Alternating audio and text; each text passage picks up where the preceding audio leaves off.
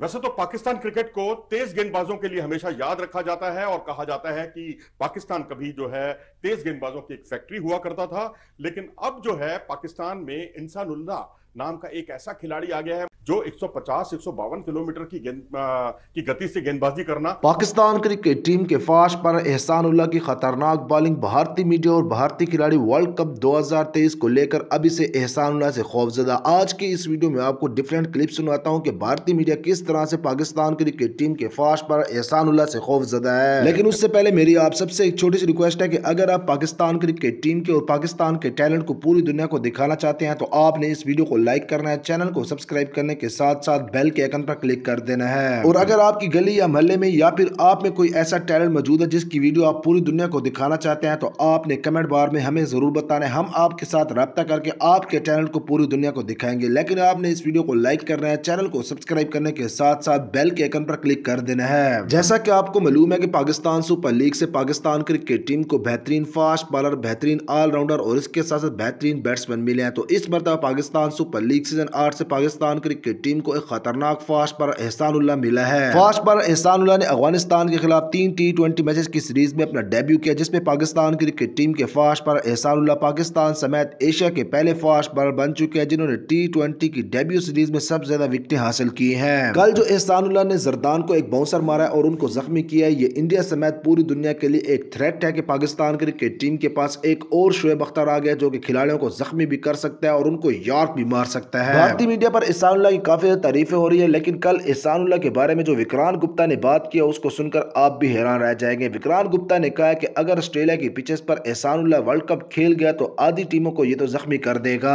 अब मेरा आप सबसे एक छोटा सवाल है आपने मुझे कमेंट करके इसका जवाब ज़रूर देना है। पाकिस्तान क्रिकेट टीम के तीन फास्ट पर अगर आपको बनाने का मौका मिले तो आप कौन से तीन फास्ट पर पाकिस्तान क्रिकेट टीम में खिलाएँगे? आपने वो तीन फास्ट पर हमें कमेंट बार में ज़रूर बताना है मैं आप सबके कमेंट का इंतज़ार करूँगा।